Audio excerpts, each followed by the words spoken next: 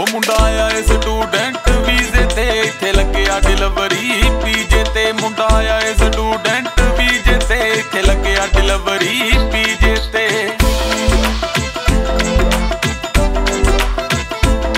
ਹੋ ਰਾਤੀ ਸ਼ਿਫਟਾਂ ਫਿਰ ਜਾ ਕੇ ਘਰ ਚਲਾਉਨੇ ਆ।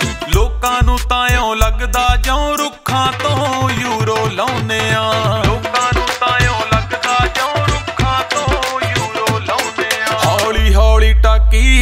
ਜੂਗੀ ਮੇਰੇ ਦਿਲ ਦੇ ਪਾਟੇ ਕੀਜੇ ਤੇ ਮੁੰਡਾ ਆਏ ਸਟੂਡੈਂਟ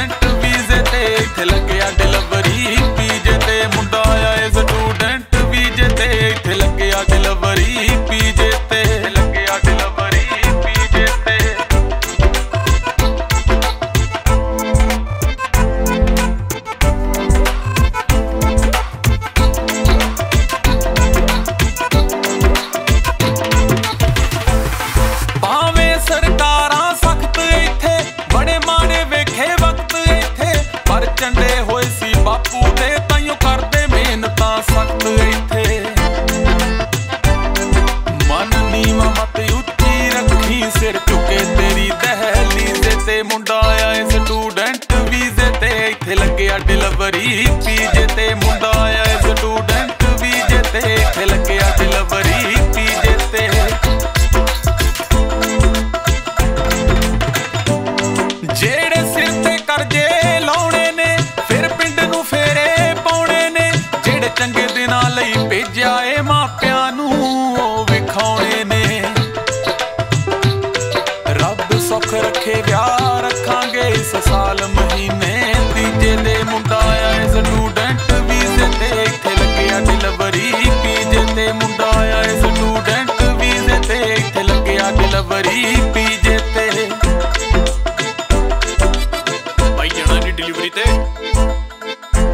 ਤਾਂ ਕਿਤੇ ਹੋਰ ਹੀ ਪਹੁੰਚਿਆ ਸੀ ਯਾਰ।